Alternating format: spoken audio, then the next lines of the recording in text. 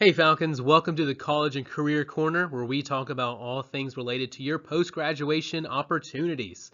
Today, we're going to talk about visiting colleges. So, let's start with my expert advice on visiting colleges. You should visit colleges.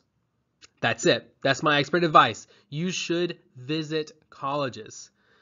I worked at several colleges and admissions offices for over eight years and visiting the college never stopped being one of the best ways for students to pick or rule out that college during their search. This was true at private and public colleges that I worked at, and it's still true. There are differences between colleges, but for the most part, colleges are pretty much the same on paper. The true differences between colleges are their actual physical location and the people who are there specifically the students, professors, and staff. Whether you're a freshman who's just starting to think about college or a senior who's starting to narrow down your choices, I can't recommend visiting colleges enough, and it's never too early to start visiting them.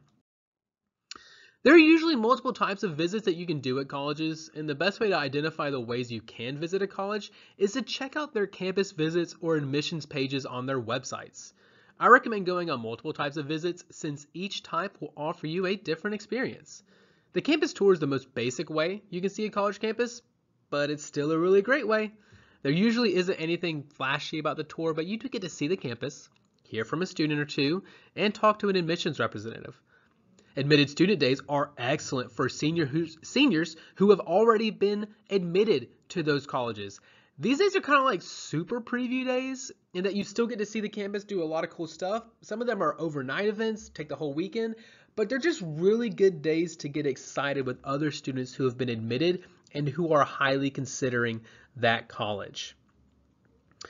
Community and athletic events are another great way to visit colleges, especially if you're interested in a particular sport and a particular event. They're great ways to see the college itself, but also to see how involved they are in their community and how much school spirit the students, faculty, and staff have. And sometimes, too, you can see how many members of the community have actually been to that college. My personal favorite way to visit a college, though, is through preview days and open houses. Different colleges call them different things, but a preview day usually involves a visit, usually on a Saturday, a sit down portion where you hear from staff such as admissions, housing, financial aid, student services, etc., usually a short tour, some time spent with professors and students, a meal, can't overestimate that, free food. I mean, if you're going to eat at a college for four years, you might as well test drive that cafeteria, right? And then finally, you also have options to meet with more offices and organizations on that campus. Preview days are excellent ways to get a better feel for housing and the student life in general. And when you're in college, you spend the most time with your professors and other students, so the option to meet them, professors and students, at a preview day is one of the best ways to see how you fit at that college campus. Plus, again, you really can't beat a free meal. Again, my expert advice for visiting colleges is just to visit them. Do it.